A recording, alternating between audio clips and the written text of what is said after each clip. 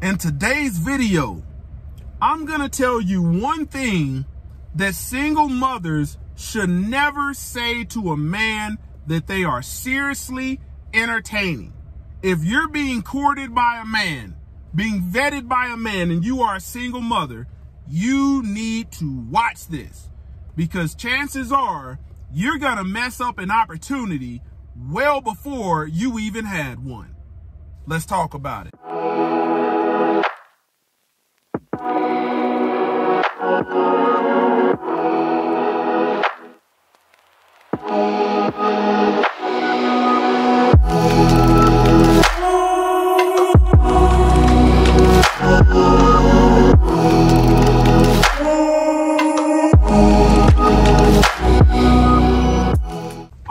To the Most High Yah Shalom. Thank you for tuning in to another righteous, spirit-filled episode. Today I'm back at it in them trenches, handling that kingdom business. Man, oftentimes single mothers, when they're dating or ask questions uh, about a man or by a woman trying to help them out, you know, the question gets asked, is their father in their life? And a lot of single women, because you're thinking out of an emotional state, you don't understand how unlogical your answer to that question is.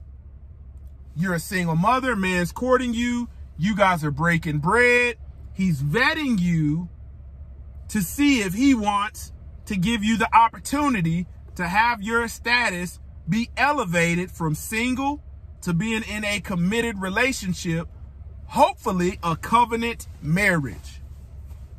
Okay? He asked you the question, are the kids' fathers in their life? Is the child's father in his life? The worst thing you can say to a good man is that the kid's father is not in their life and you're happy he's not in the picture. Let me say that again. The worst thing you can say to a good man as a single mother is the child's father is not in their life and you're happy that he's not in their life. Major red flags. A good man knows that a child is supposed to have a mother and a father, supposed to be raised up with balance. A good man knows that no matter how old this child is, that child is being raised currently in an imbalance.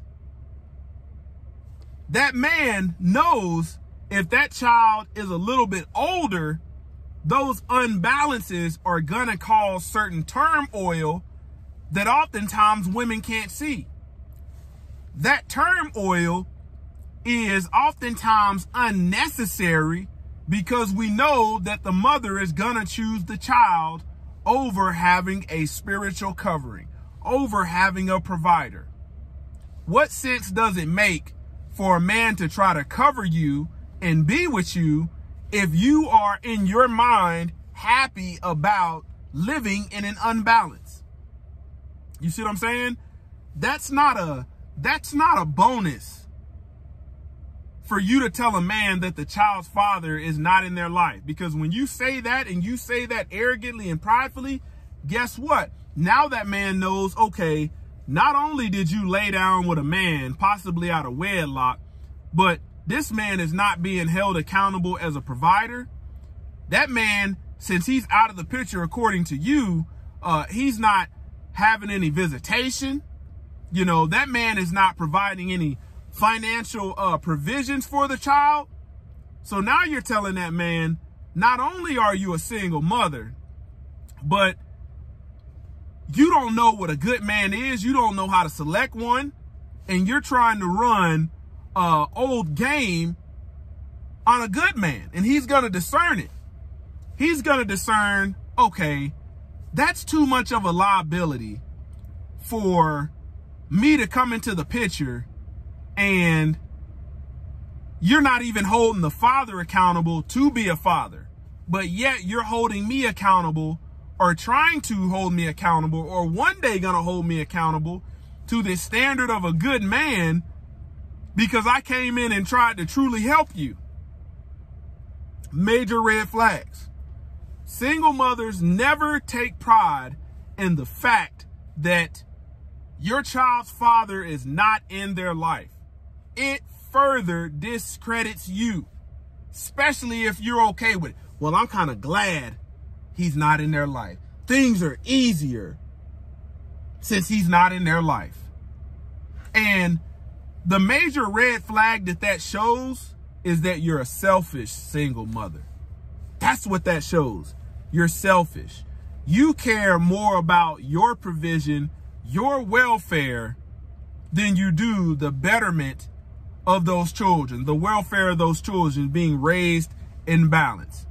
And that balance doesn't have to uh, come from you being with their father. No, what is that relationship? How is that co-parenting relationship? And here you are saying you're glad that your child's father is not in their life and you wonder why you're still single. Close to the Yah Ministries, kicking that thing gun barrel straight.